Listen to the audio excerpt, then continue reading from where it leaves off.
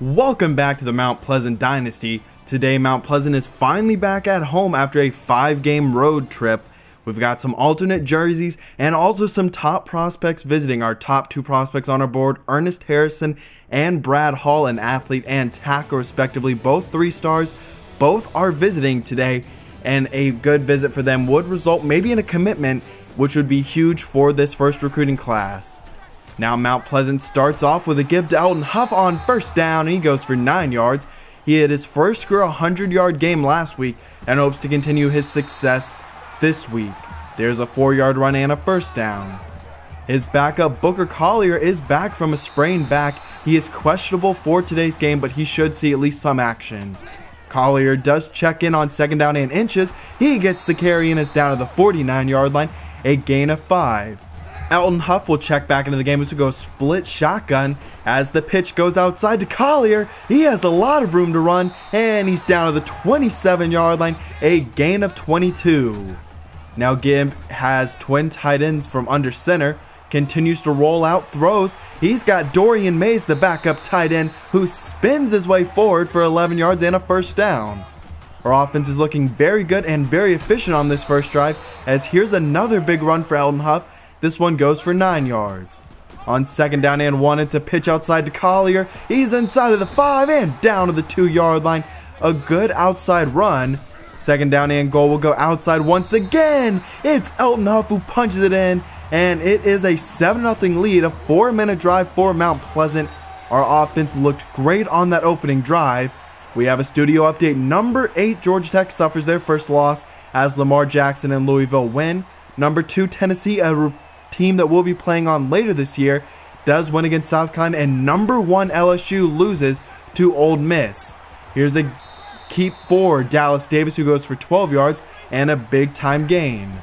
South Alabama's offense features a bunch of very talented skill players and a good offensive scheme. However, their starting left and right tackle will not be playing today. So we hopefully can get a little bit of pass rush on him, but outside for Josh McGee He's got it for 25 yards. Inside of the red zone, Dallas Davis keeps it on the read option. He's inside of the 10 and down at the 1 yard line, a gain of 14. First down and goal and up the middle, no resistance. It's Xavier Johnson who punches it in from 1 yard out, and South Alabama only takes around 30 seconds to tie this game at 7. The ensuing kickoff as DeMarcus May takes it from his own end zone. He cuts it to the outside to the 25 to the 30. The ball comes out. It's still free and it's recovered by Buchanan of South Alabama. There's a flag down on the play, but it's clipping on Devron Blanco. So it is South Alabama football. A big time mistake as DeMarcus May was also shaken up on that. So him and Ashley Waters are now both hurt. We'll have to get an update on May in a little bit. First down and 10, dump down to Kuchera. He's got it inside of the 5 yard line, powers his way forward to the 2. So it's first down and goal once again. And this time it's Demi Ayula. He goes from 3 yards out. And South Alabama's offense has looked great so far today. We're going to have to have our offense answer. Looking like it's going to be a high scoring barn burner today. As a loss of 8, it's Trey Alford. We've struggled with interior pass rush so far this year and there's another sack. And now going up for the football is Ronaldo McCall, who goes for 12, but doesn't have enough for the first. The sack set us back, so now we were forced to punt, and it's Williams on the reception across the middle. He's got 20 yards.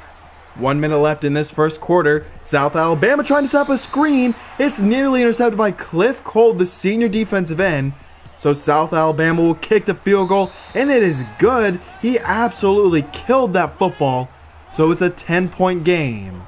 Under a minute left, throw outside for Kenton Watkins. He tries to juke and is not able to make anyone miss, but gains 18 on the curl route. A run outside for Alnavi cups it back to the middle, goes back outside. He's got 10 yards, but just shy of that first down. Maybe the final play of the first quarter. As going down is Jonathan Gibbs once again. It's Trey Alford with his second sack of the first quarter. Now it's Alford making a play. Booker Collier, who barely is able to pick up the first. And so it is second down and seven. Collier gets another carry. He's getting a good bit of early work as he's just returning from his injury, already his seventh carry. Danny Whitmore checks in, the third string running back, who has impressed in his limited time with Collier out. It's now third down and four. Triple option pitch to Collier, and once again just barely picks it up. But Jonathan Gibbs was hurt in that play, so backup Colby Lucas will check in. The sophomore quarterback pitches it to Collier, and he's got it for 10 yards. Lucas stays in on third down as we go read option, gives it to Elton Huff up the middle for 7 yards. He is a little more athletic than Jonathan Gibbs, but not nearly the passer that Gibbs has proven to be. And there's a 5 yard run for Colby Lucas. That's nice to see. And on second down and goal, it's Huff once again. His second touchdown of the game from about the inches line. So it's now a three point ball game. Another studio update as number three has now gone down. So we've seen number three, one, and eight all lose today. So definitely a shakeup of the top 10. And going backwards is Xavier Johnson, a loss of five, Khalif Keenan, and on the play. We've got third down and 11 with three minutes left. Going deep, it's McGee who gets open. He's going to go from 61 yards out. He just burned, I believe that was Markel Reyes and takes it all the way in. Just not great coverage. Both of our starting corners don't have the greatest speed, so that's definitely a big area of concern moving forward. Here's Elton Huff, though, who cuts it back to the middle and's got three yards and a first. Hopefully our offense can answer back on this drive to end the half. As it's Huff up the gut, he has a big time lane. He runs right through it for nearly 20 yards. Next play, it's Danny Whitmore. He goes up the middle. He's got six yards this time. So it's first down and 10, a minute and a half left. Booker Collier is the running back, seeing a lot of different running backs playing today, three so far, and they're all being very productive in what we've seen. Third down and two. Throw to Harrison. He's inside of the five and down to the one yard line. He goes for 20, and it's Jonathan Gibbs. He gives to Huff, and he punches it in from two yards out, not even touched. And we will cut it to a three point lead, 34 seconds left. Only 30 seconds left in this first half, but with how explosive South Alabama's offense can be, that is more than enough times they go for 20 yards there. Now on third down and nine, down the seam, it's Gerald Everett.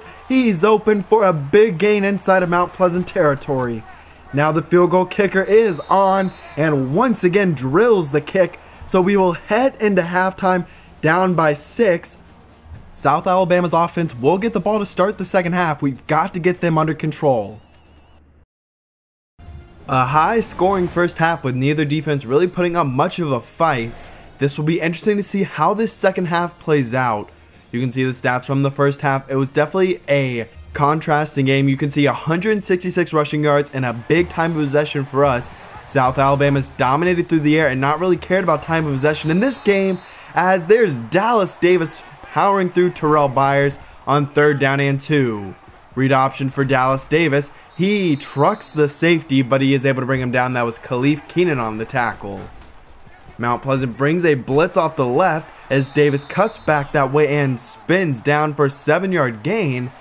But Davis is shaken up, so Evan Orth will come to the football game as he keeps on the read option this time. He's inside of the red zone, down after a run of 21 yards. Third down and eight, give up the middle for Xavier Johnson. He only gets two yards, a big time stop by Xavier Simmons. It's now a nine point ball game after the field goal. The quick dump down goes to McCall. He gets one block and picks up a first down on a 13 yard reception. Trips to the left is play action for Jonathan Gibbs, or at least he pump fakes to the outside and ends up getting sacked for a loss of eight. On third down and 21, Gibbs will not be able to get the pass away. He's hit as he throws, and that pass goes nowhere. So it's a three and out for Mount Pleasant. Now it's Kavika Watts on the interception. He just read the screen perfectly, stood there, and was able to catch it. A mistake by Orth. Now on third down and three, it is Kenton Watkins who only gets two yards. He had the first down, but he cut up field at a weird angle, and that cost him the first. So instead, Mount Pleasant will kick the field goal, and it's back to a six point game. As there's a good defensive stop by LaRue Banks, a loss of four for Johnson. Second down and 14, offset shotgun. Orth's going to take off and run with the football, and he got around five yards. So third down and nine, Orth drops back. He scans the field, finds his man Gerald Everett, and he picks up the first at 13 yard reception. First down and 10 for this Jaguars offense as it's Orth who takes off once again. He's really showing off some nice athletic ability. Third down and four. The drop play works to perfection and still going is Dami Iula. He got 16 yards on that carry. An offset shotgun. Orth's gonna run once again. He's inside of the 10. He breaks a tackle and he's down at the two yard line. He might be showing that he's a better runner than Dallas Davis was. And on the next play, once again, Evan Orth, he is just showing out on that drive. And that was a great drive by South Alabama to answer back and make it a two score lead once again. As here's Elton Huff for 12 yards. He is performing very well. Coming off his 100 yard performance last week, he's followed it up this week with another big time game. As there's a pitch to the outside for Huff for 8 yards as he nears 100 yards on the day. Third down and 9. Throw, it's nearly intercepted. Looking for Ricky Barrett up the seam, but did not put enough air under it.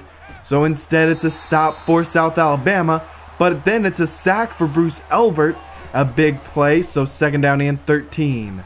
Orth tries to escape, breaks one tackle, can't get away from Blake Cotton and another defender. It's now third down and 21. You have to get a stop here. You can't allow a first. As the throw, it's intercepted by Markel Reyes. He's going to take it back. He's inside of the 35 and down to the 30 yard line. An arm punt of sorts as that ball was just thrown up in the air and Reyes was able to just sit right under it and followed it up with a great return. So now we'll start off this drive with a give right up the gut for Elton Huff. That one goes for 7 yards. Now at 120 yards in the game, his second straight 100 yard rushing game and the second of his career. Now it's McCall. He's into the open field. He's going to take it from 23 yards out. And it's back to a six point ball game. The interception sets us up perfectly. And now hopefully our defense can't come up with another stop. As here's a great way to start off this drive. Cliff Cole on the stop. Third down and 14. Setting up a screen pass, you gotta contain, and we do just that, only giving up seven yards. So our offense takes back over the chance to recapture the lead, and that's not the way you want this drive to go. It's Trey Alford once again for his third sack of the day. That's a school record for South Alabama. He is just dominating this game on defense. Now on third down and 18, Gibbs will roll out to his right. He might run with it. No, he's going to throw it. He's got his man Harrison for 20 yards. What a play by Jonathan Gibbs. Now it's Booker Collier for three yards and a first. If you want to go get a second look at that play, I don't blame you. Looking like he was going to run the ball, Gibbs throws on the run for the first. And now it's Booker Collier picking up his own on the inside run. Third down and six, throw, and Harrison can't make the catch.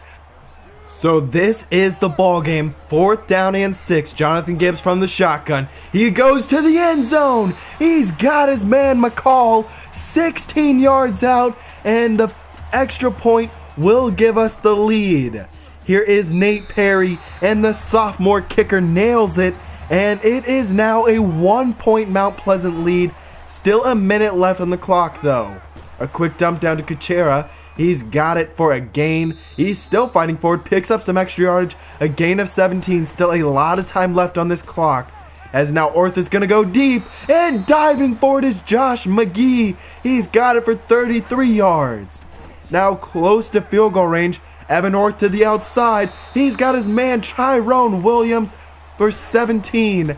It's goal to go. 15 seconds left. Johnson up the middle on the draw play. He goes for seven yards. And now going for two to take a touchdown lead. And stopped in the backfield. It's Cliff Cole. It took South Alabama less than a minute to score. We've only got 10 seconds. And going down is Jonathan Gibbs. It's Trey Alford once more his fourth sack. Second down and 18. And Jonathan Gibbs again. Alford's now got five sacks in this game. Third down and 26. Just gonna throw it deep. This is the last play of the game. And diving for it is Harrison. If he doesn't have to dive, he might have gone all the way. Instead, South Alabama and Trey Alford will get the victory, along with Evan Orth, who stepped up big. We scored the go ahead touchdown. I thought that was going to do it. We left too much time left on the clock. South Alabama dominated our defense throughout the entire game, especially on that final drive.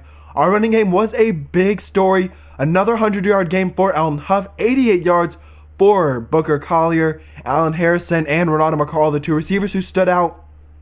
But another one of the big stories was the constant pressure it seemed like Jonathan Gibbs was under. He was sacked six times in this game, five times by Trey Alford. Four of those were given up by our right guard, Kelvin Williams. But you can't dwell on a loss like that. It's a heartbreaking loss, but you just have to keep moving forward. Now 1 and 6 on the season. Our next opponent is the 0 and 7 Wake Forest Demon Deacons. You can see they've lost to a number of very good teams. Five of their losses, or four of their losses actually, have come against ranked teams. They do have some injuries with their right guard and right tackle being hurt. Their middle linebacker and starting quarterback John Wolford most likely will play.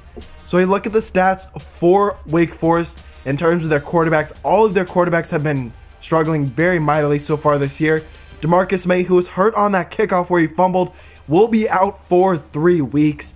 So a big loss, just really in kick return, but Ashley Waters will be back for this game. So it's not too devastating of an injury, but we do pick up two commitments. Eric Moore, an outside linebacker. He's a great athlete, not much else. Then you have three-star Brad Hall, who we actually beat out the University of South Carolina for. He's strong, a good balanced blocker, and probably will be a year one starter for us, depending on how everyone else progresses on our team. But I hope you did enjoy today's episode. If you did, please like down below. It's a disappointing game. It's one that you would love to win. But with a team like this, it's hard to win a lot of games. And just being in games like that really shows progress to me. We haven't had a ton of games like that and our team continuing to fight was great to see. But like I said, I hope you did enjoy. If you did, please like down below. Leave your comments on the game down below. Any thoughts on our two commitments we got this week. I will see you for week 9 in the next couple of days, because I'm out.